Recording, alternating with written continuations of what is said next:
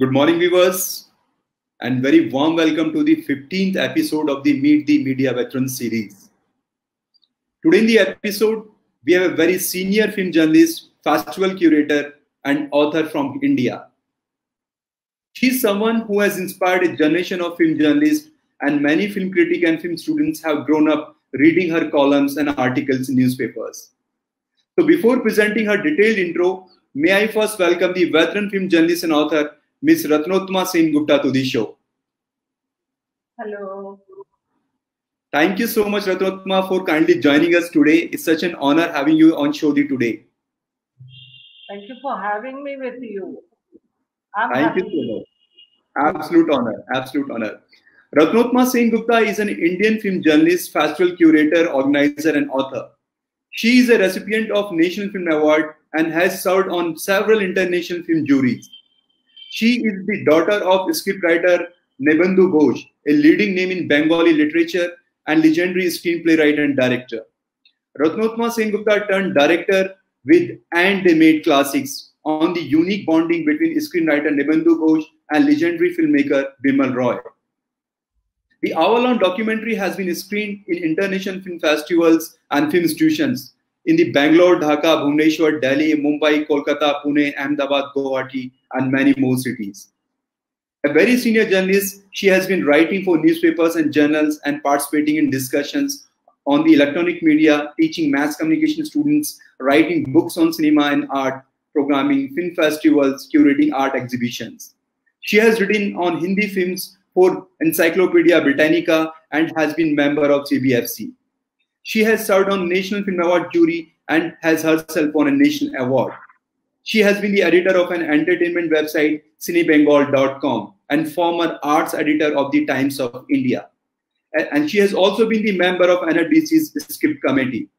Author of Krishna's Cosmos and several other volumes, she has recently edited The Bird Called Happiness, Me and I, Kadam Kadam, Chuninda Kahaniya, Nabendu Ghosh. May I now request Ratnottama to kindly deliver her talk, How to Read a Film. Hello, friends. We we normally don't use the word read for films, do we? But we all watch films and we are all every viewer decides, assesses the film. Do we like it? If we like it, what is it that stays back with us most? We don't like it. Why don't we like it? Like every dish, even a pinch extra of salt can take away from the total flavor. So, but a critic is an initiated viewer, a person who has not only been viewing but also been assessing, perhaps while viewing, where it is exactly getting derailed. That does not necessarily mean uh, technical ability, but there are always certain parameters that an initiated viewer will bear in mind. To begin with, any any viewing, what is it that engrosses us most? It's the narrative. Any film, it's the narrative, the story. Why? Because it tells something that relates to our life and we live a vicarious experience. We may not have been in that situation, but we get so narrative, story, and story always involves certain things like characters, emotions. Story has a setting. A person, a slumdog millionaire. It can't be set in Kashmir. It has to be in Dharavi. Uh, on the other hand, there are stories, films, Calcutta 71. Obviously, it can't be anywhere but Calcutta. And so on. So, location. Uh, an extension of location is also the art direction, the setting. The uh, an extension of settings is also the costume, the characters. If a certain character is well off, if a certain character is westernized, if a certain character is very rooted, is a villager. So these are certain things, costumes comes in. So, and then of course there are things like music, there are things like song, there are things like dance. Uh, song and dance are very, very much part of our film. There was a time when Indian films were kind of, you know, made fun of. It was said it's dancing around the trees, yeah.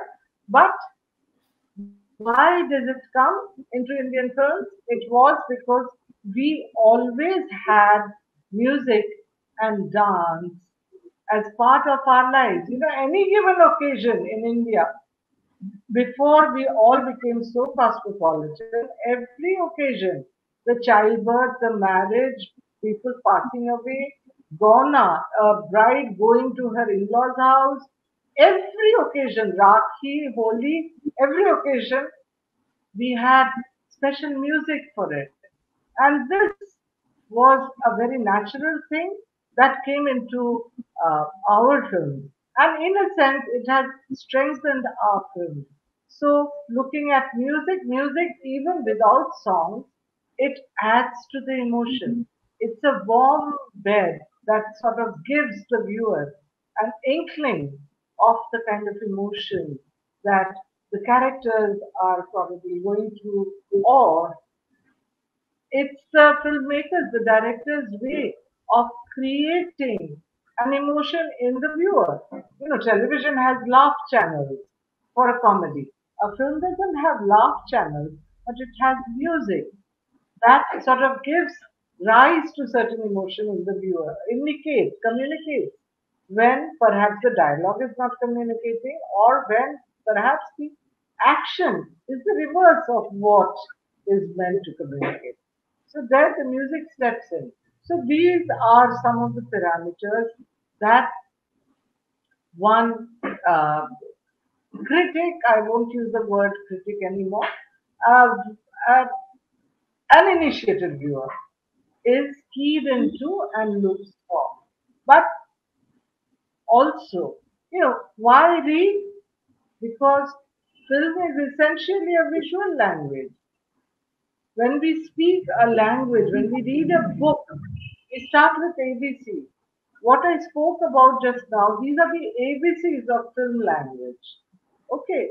And then there are the technical side. I said not every viewer has to know the technical side, but then knowing the technical side certainly helps. It's just like, you know, in a language, in a spoken language, you know the proverbs and phrases that adds beauty to the language. In the same way, lighting, which direction the light is coming from. So the window is there. So the action. Uh, very recently, I was watching a film called 12 Angry Men. It's one of the classics many, many years ago. It's a black and white film made in Hollywood so many years ago. You must have seen some theaters, Uh, stage production based on that. Why I'm saying this is the, the angle of whether a person lying in a bed could see something. So, what would be the light outside? What would be the light inside? here in this one they didn't don't show it, which helps me as a viewer who has not been on the scene just visualize. So these are things. Then there is also the placing of the camera. Sometimes it's the framing, you know, whether it's a diagonal frame, whether it's a it's a certain vertical frame, whether it's uh, you know the characters are placed as antagonistic or they are in a friendly vibration. Okay, so then there are, of course, you must be aware of mise-en-scene. Mise-en-scene applies to cinema even more than it does probably to anything else. But it does to writing, it does to, you know, in a book, uh, I'm essentially a journalist from the print media. One of the very important first things we learned was the paragraph. You have short paragraphs, Each paragraph kind of has a point to make, and then when you move on, there is there are transition phrases. Okay, so in the same exactly the same way, a film has scenes, sequences come later, scenes, these mise en scene, they kind of every scene is communicating something.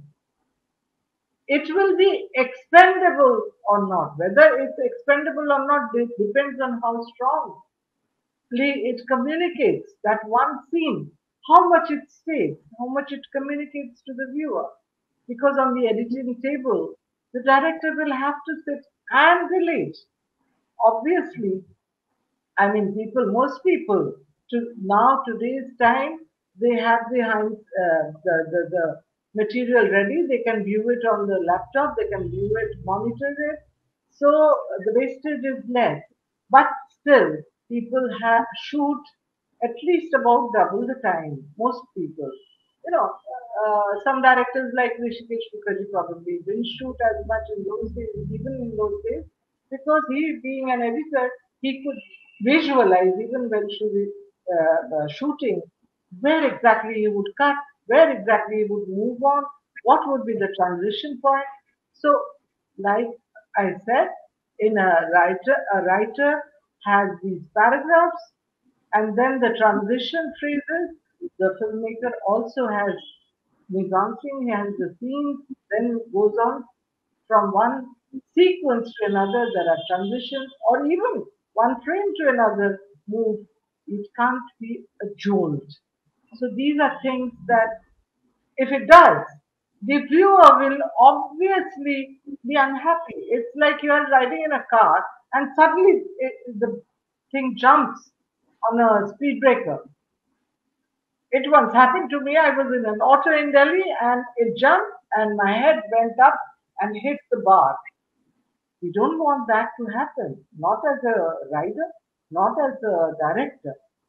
The, the director, good director, there will be no bumps in the narrative. Even when there is a mystery unfolding, there will be enough indication hidden in the scene so that it doesn't come as a surprise.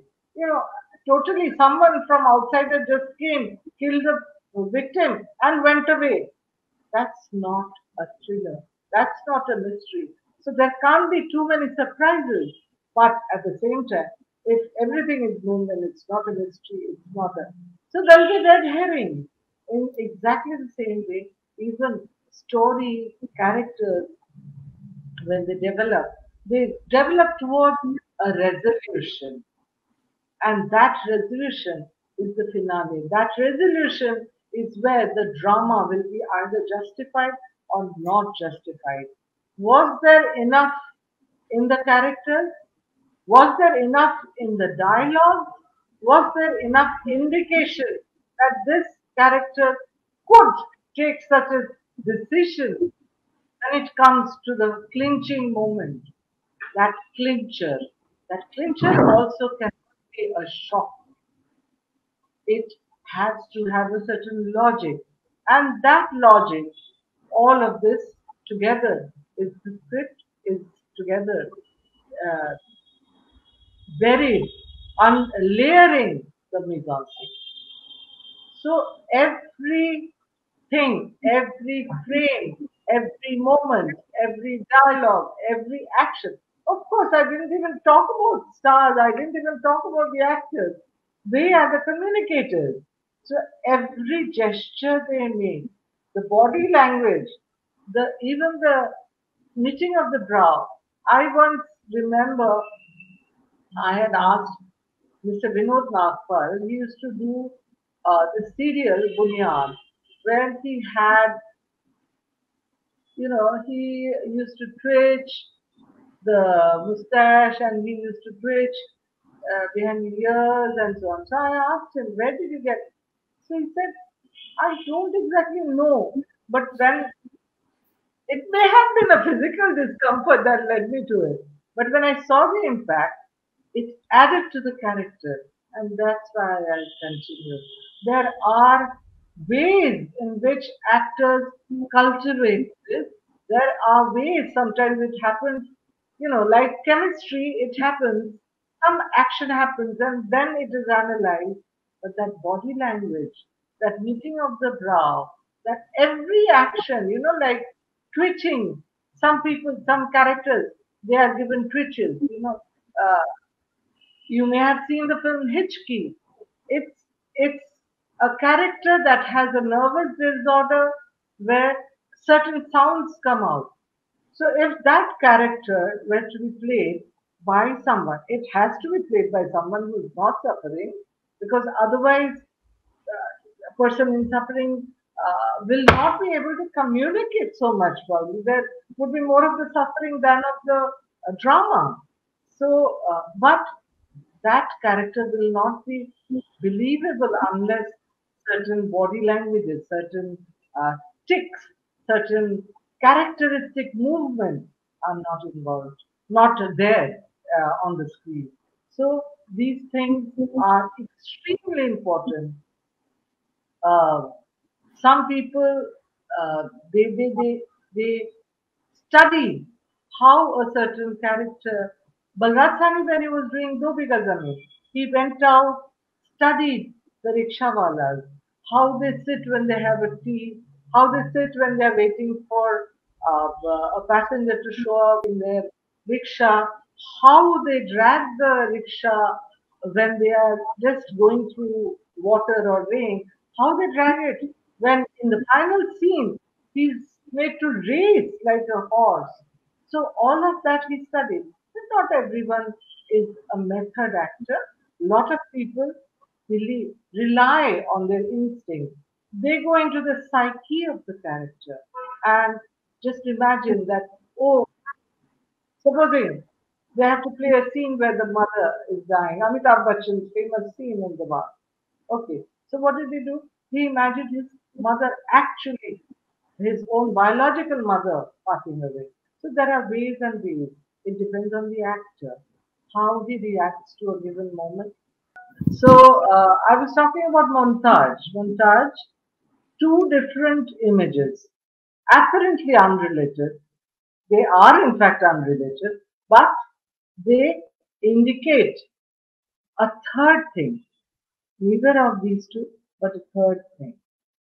And uh, the one other thing that as a uh, viewer, when you're reading a film, violence, violence, even to condemn violence, you have to show a certain amount of violence. So how do you show it? So there are ways of showing violence without actually having. What happens is if you have, have too much violence on the screen, it sort of puts up everybody. But at the same time, and this I learned from Shyam Benegal many, many years ago. I was just a, a new uh, journalist. I just joined and I was uh, writing for screen at that point and I'd gone to him to uh, talk about Nishan. And there we had talked about this and he said, but violence immediately draws attention always, which is why even on channels, nowadays we have channels, 40 years ago we didn't have the channels in our drawing room, but even on channels we see violent action, people uh, beating up uh, doctors or police or whoever, all that happening. This is news. But too much of seeing violence deadens our sensitivity. We no longer react. It's like if you have too much of salt, your taste buds go dead. So, but at the same time, how do you show? Uh, how do you create? How do you uh, sort of condemn violence? You show the impact of a violent act. Yeah, and uh, showing the impact of a blast, for example when it when when when there's a blast, we don't see much, but the impact. Okay, sound can be deafening, but that is not the only impact that you can show on screen. Screen has the added advantage of simultaneously going outside the scene of action and showing the glass splinter or a glass splintered glass entering someone's body or uh,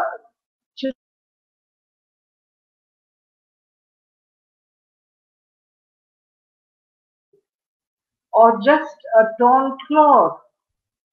These are ways of showing the impact without showing actual violence.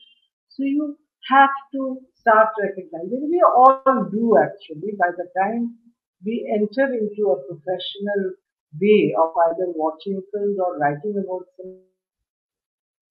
We have had in today's day and time certainly because films are playing from our television screens in our drawing rooms, in our bedrooms. It's now playing in our mobile set all the time.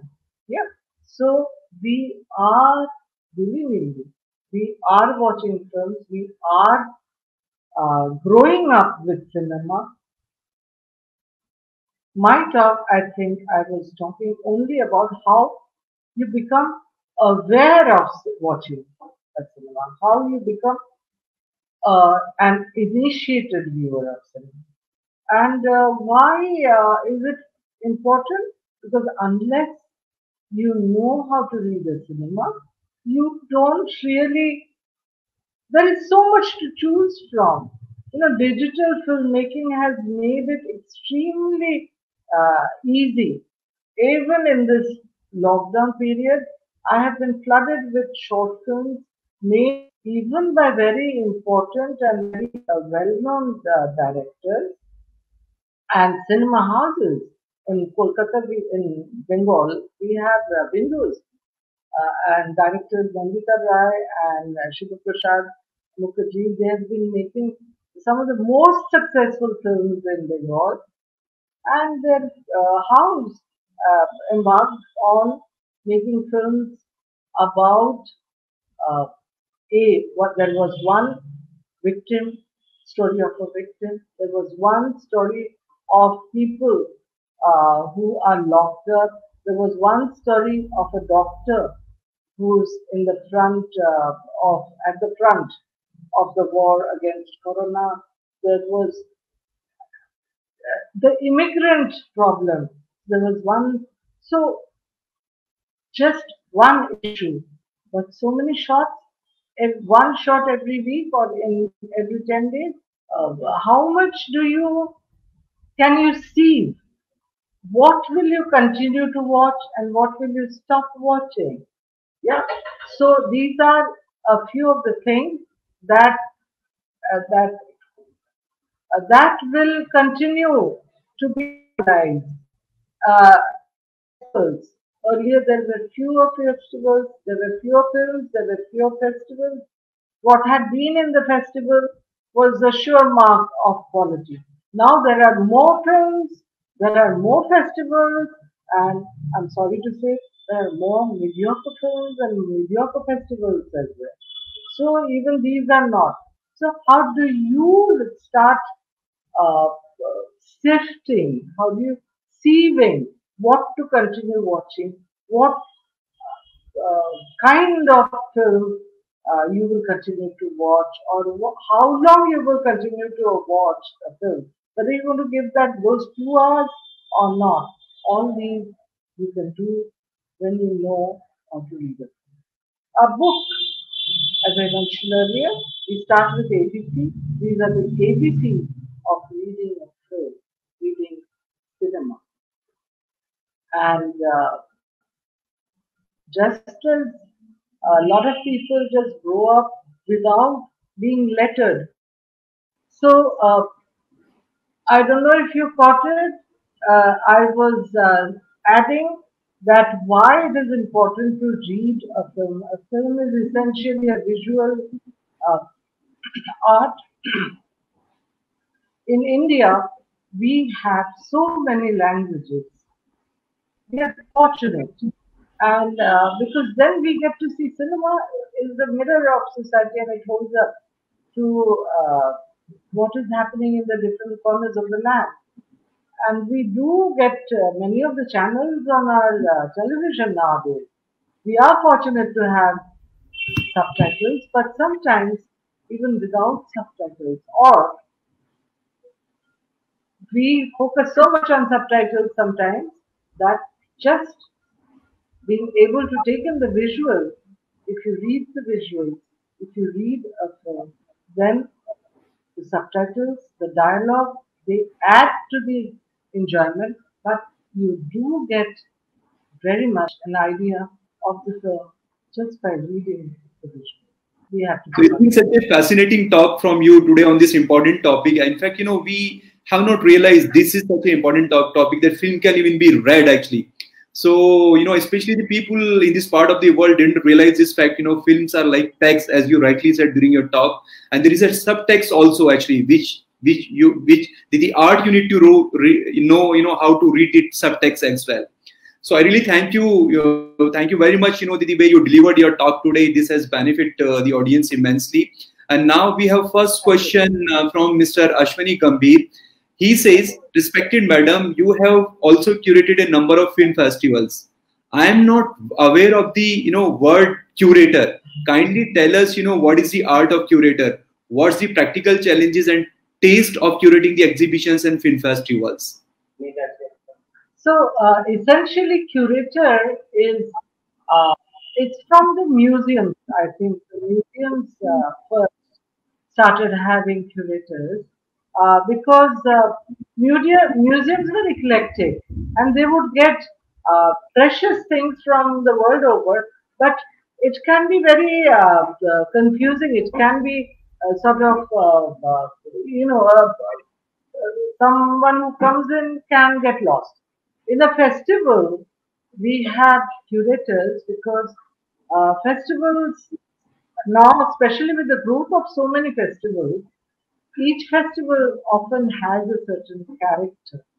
So then, um, in Egypt, it might be the Arab cinema. In Berlin, it might be, or it was at one the the uh, sort of the left-oriented view. In Paris, it would be the extremely cinema-oriented view. In uh, Hollywood, the Oscars, the stress is something else. In our national awards is, uh, uh, stress is the focus is something else. You know, the what shows the best of India or what shows the best of uh, hope to mankind. That could be uh, one of the things uh, selected. So essentially, a curator is a selector. They go by a certain thought in the mind. I curated last year. It was the 150th year of uh, Mahatma Gandhi's birth, and uh, year before that was uh, 70 years of his uh, assassination. So at that junction, I felt that you know, like the next generation, we have grown up post Gandhi. When we were children, Gandhi was Mahatma. Bapu, he was Bapu to us when we were growing up. Uh, subsequently, he became kind of, you know, a matter for joke even. Yeah. Uh, prohibition to हर जगह से गया uh, you know I mean like his going out and talking about you know uh, fasting he's going out and talking about the intouchability when Mandal has happened we still have uh, uh, to look back and see how much have we progressed since we talked about Harijans. Uh, all the discussions that have happened since. So my thought was revisiting Gandhi. Whether the importance of the man has grown, whether he's still significant in a world torn aside, torn apart by terrorism almost every day, or he has become irrelevant. So there is a certain philosophy a curator picks up or is driven by. You know, that thought comes first and then the action.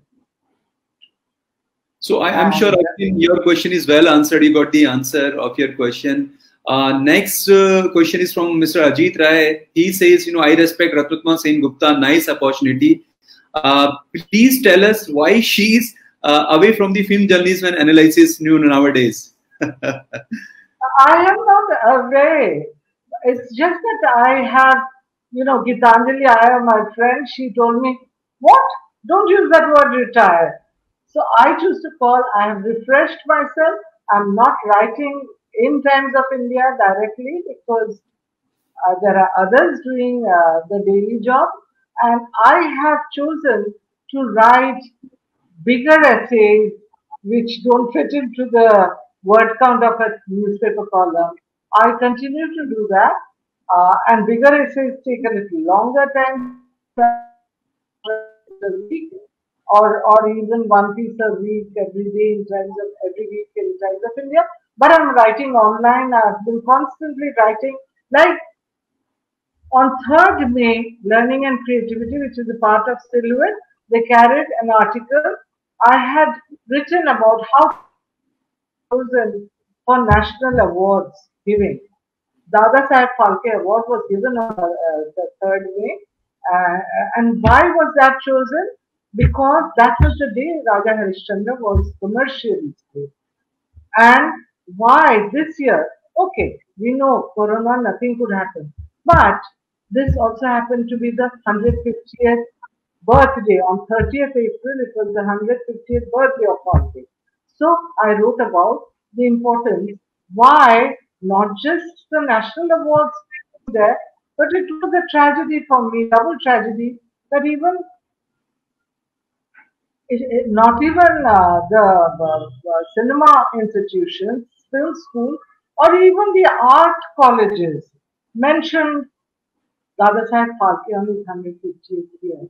Because Phalke, many people didn't know. In fact, Shyam Benegal, after he read the article, I'm, I'm really proud to say this, share with you, that he said that outstanding article because I had written about how his art background had helped him to come to cinema and how everything that he had learned in the process of printing for Raja Ravi Varma, he incorporated in film.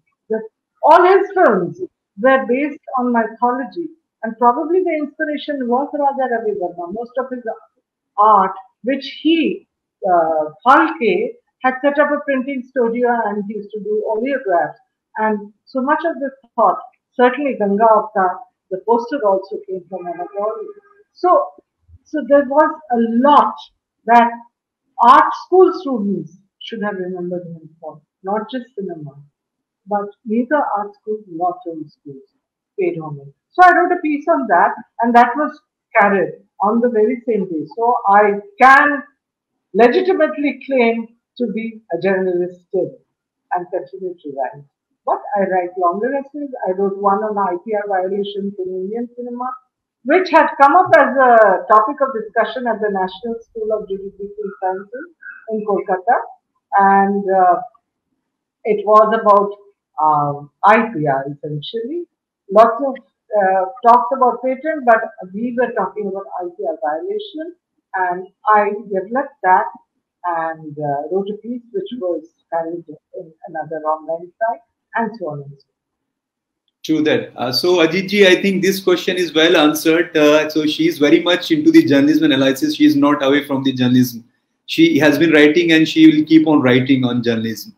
Uh, now we have, you know, another question from Ashwin Gambhir. He says, you have received a national award for writing on cinema and you have directed a film also what are things motivate you to make a film and what have you enjoyed most writing on cinema or making movies yeah i started at the bottom what i enjoy most i said that you know like you can't say what you enjoy most there are different times uh, there are different uh, part of even a meal uh, there are you see we have different occasions we wear different sarees I wear primarily.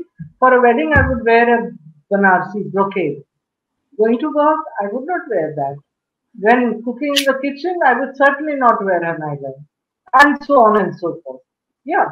So it's exactly the same thing for different occasions, different horses for different courses. Uh, the film I made was a centenary tribute to Nabendu Ghosh, a writer. Most people don't remember you know, the writing of a screenplay is like the thread in a garland. The less you see of it, the better the garland is.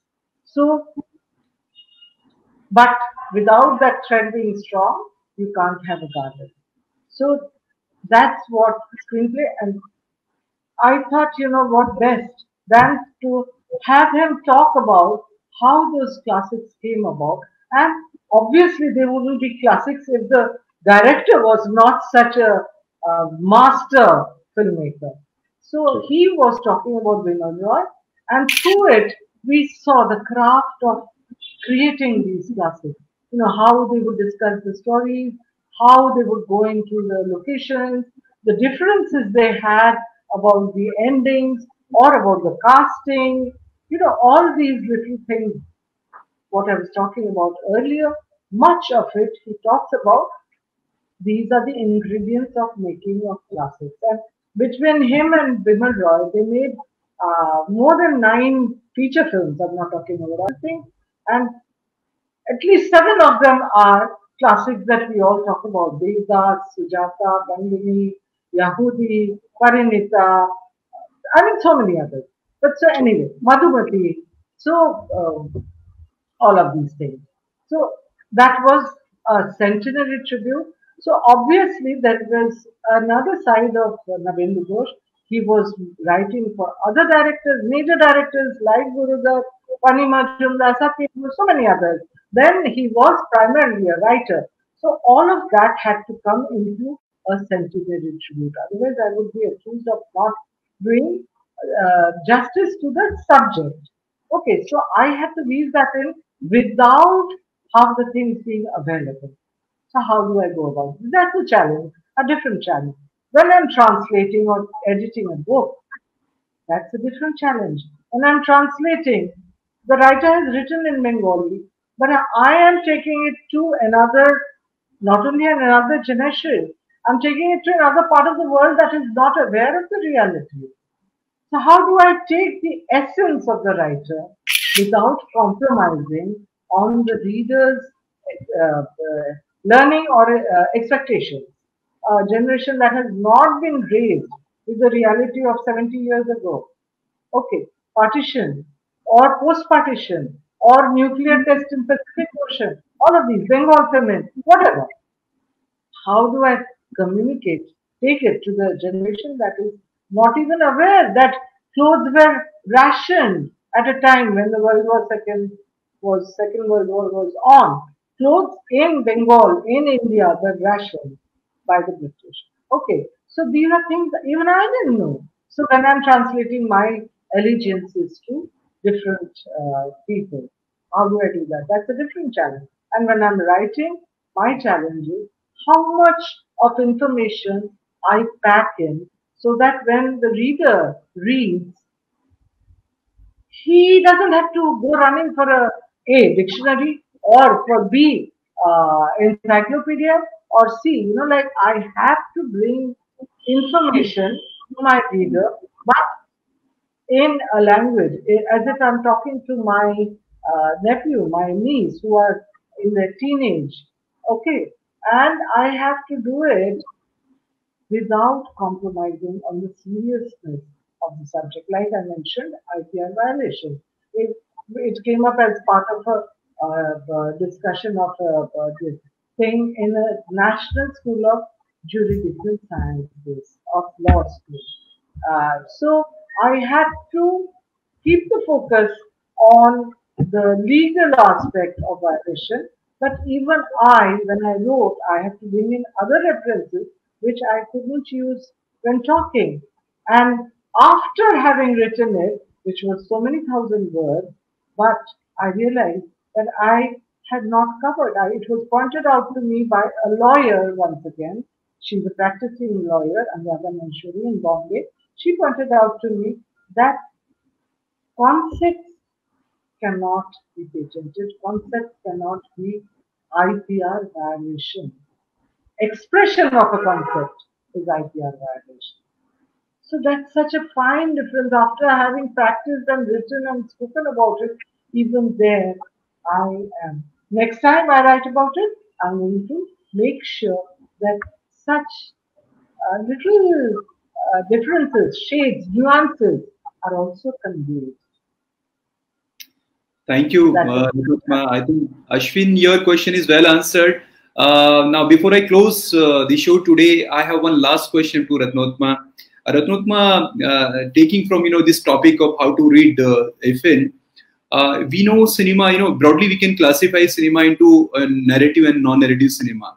So it's easy to you know sort of read a, a, a film which has a you know narrative which is simple basically so how to read a film which has, you know, non-narrative content? For example, the films of uh, Tarkovsky, for example, take the example of The Mirror. So do we have to have, you know, different contexts to study such sort of film or to read such sort of film? Your, your, uh, uh, once again, I'll go back to uh, literature. I'll go back to uh, uh, text, written text. Um, Charles Dickens. He is a narrative writer. Okay. Uh, Shakespeare also was primarily narrative, but Shakespeare's sonnets were not necessarily narrative. They were emotions. True. Uh, Ulysses, again, is English literature. It's a stream of consciousness. That's how the mind is. We don't stick to one thought. We, one thought leads to another one, second thought leads to a fifth thought, and then sometimes we come back to the third thought. So mind is not running on a straight course. True. And he followed that course. So that was stream of consciousness, which gave rise to, in a certain sense, a non-narrative, non-linear narrative, certainly right okay, uh, non-linear narrative. It was, and from there on, we have other writers who take off on away, go move away from narrative. Kafka's writing is narrative, but not actually narrative in the sense of linear narration of a plot or situation of characters development and denouement. Uh, Marquez, Latin American writer, 100 Years of Solitude. Once again, it is non-narrative, but with seeds of a story. Okay, so we have abstract art and we have figurative art. Right. So it's always there is a story primarily, or there is an emotion or a thought which does not have a body. It is not about the body. It is about what is going on behind the body, behind what we can see. Mind we cannot see, but the words are coming because of the mind. To tell you about Nijinsky Diary. This is a film Paul Cox had made.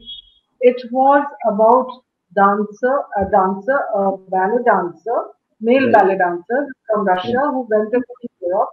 Uh, but and he was very famous, extremely famous, controversial figure in fact. But towards the end of his life, he was his mind was disintegrating. Paul Cox used his journal, he used to write. He used those thoughts, and he made a film, a full feature film, which did not show even one frame of a dancer dancing. But it had computer graphics. You know, these images that scribbles that come and go when uh, it doesn't happen so much now, but earlier days it used to happen that you know you used to get these uh, streams on the screen if you remember. So he used those images and he had the voiceover. And through those vibrations of the images, the emotions of the words were conveyed. And the whole thing was philosophy. Cinema is also about philosophy. Cinema, many films, actually, what ultimately makes a film a classic is the philosophy behind the narrative, the story, or the acting, or the music, what it conveys. In one line, when we were reading fables in our childhood, the moral of the story The filmmaker doesn't say moral of the story, but the philosophy of Pather Panchali that life is not measured by the number of cars. Life is not measured by your bank balance. Life is not measured by poverty or the depth of poverty. Life is measured by your equations, your love, your wealth of emotion. Thank you, Ratnottama, you know, for such a scintillating talk and answering all the questions of the audience. Since we are running out of time now, I have to wind up this show for today. I, I really thank, thank you so for kindly joining us today. So I really thank you. Thank you so much uh, for kindly joining us today. So uh, viewers, uh, uh, uh, today we have to wind up the show now because we are running out of time now. As uh, I sort of disclosed five ten minutes before, tomorrow this show will be at 9 p.m. Uh, in, in the night and will be joined by a very reputed uh, uh, American film producer, director, and writer, Lane Chapter. So she'll be speaking on indie filmmaking, which is again a very interesting topic. So kindly join us at 9 p.m. tomorrow. Till then, uh, take good care of you. Goodbye. Good day.